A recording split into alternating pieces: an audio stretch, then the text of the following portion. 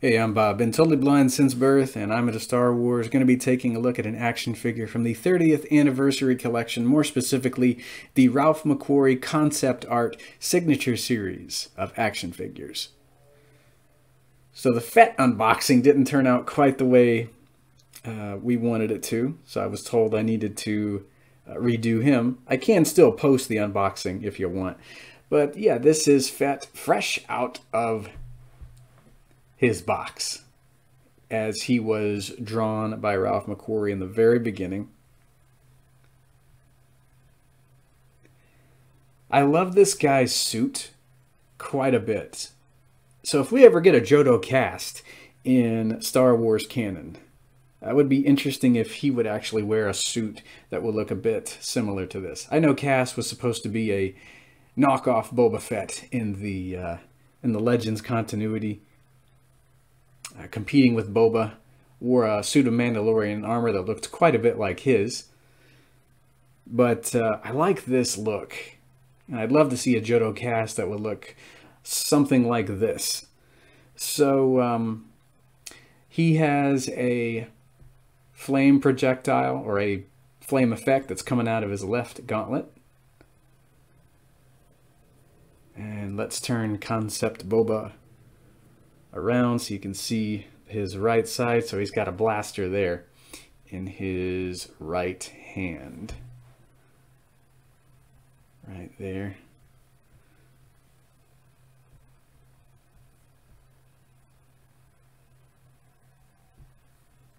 And he's wearing a backpack, although it doesn't look like a rocket pack to me. Looks more like a run-of-the-mill backpack that you might keep extra weapons in. Don't really see a uh, uh, a rocket motif there going on in the backpack at all. So we're going to lower his arms to his sides and I will attempt to show you the gutbuster gun sticking out of his belly. So he's got a little door that opens around his uh, his tummy. And he has a little blaster sticking to the door.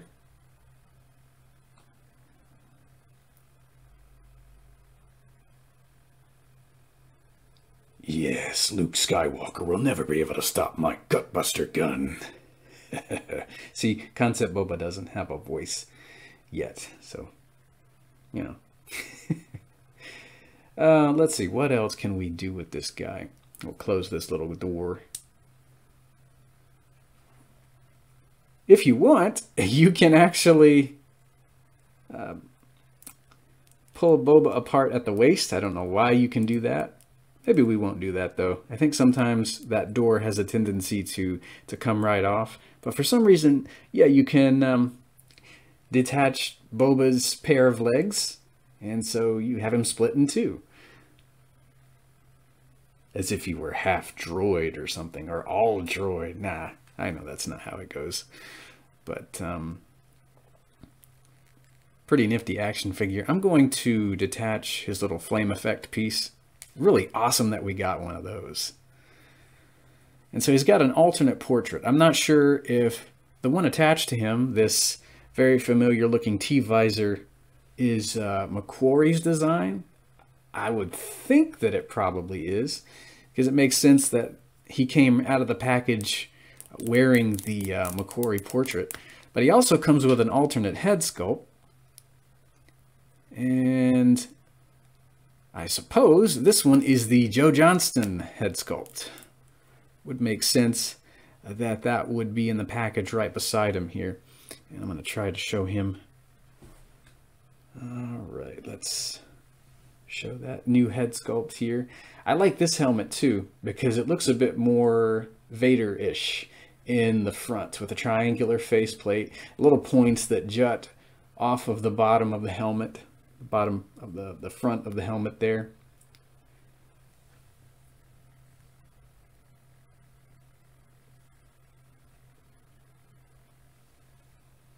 Even the way the sides of the of the mask look reminds me of uh, Vader's helmet there. And of course, on this uh, version of the, the helmet, you have the the rangefinder there on the on the left side. And the way that the, the visor looks on the front here uh, makes me think of our clone troopers, our clone commanders, those guys that would, you know, have the visors that would come down in the front of their of their helmets. Very, very familiar looking visor to me there. The way that looks in the front, it really reminds me of uh, something you'd see a clone trooper sporting during the Clone Wars. That's pretty cool. Uh, let's see. So I'm wondering if Boba might be wearing rocket boots, similar to Cad Bane's. Looks like he is. But I could be mistaken. Because I don't know much about uh, this, this, concept version of him. Um, all the bells and whistles of his armor like I said, though, if if they ever introduce Jodo Kast into Star Wars canon, I'd love him to wear a suit like this. You know, a white uh, set of armor here. I mean, he'd be Boba Fett-esque, but not not as much of a uh, a knockoff as he was in Legends. I'd love him to have a different suit, maybe some different weapons, things like that. Still a a very menacing character if we ever did get a Jodo Kast, but yeah, he should. I think he should, you know, look a bit different from Boba, unless you know they're going to go with, oh, Boba's being framed for things he didn't do in uh, in canon. That would be cool either way, though.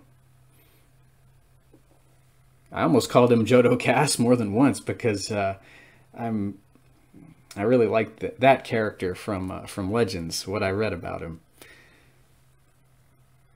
So yeah, I guess that'll do for concept Boba and I'll hear you guys in the next Star Wars video. I'm thinking about posting the unboxing, uh, maybe, we'll see. Um, yeah, maybe, maybe not. Just kind of cool to uh, to be able to unbox this stuff and take a look at it the first time. Even if it uh, didn't turn out that well, I think it would be fun to uh, you know take a take a look at that video at some point. So, till next time, may the force be with you.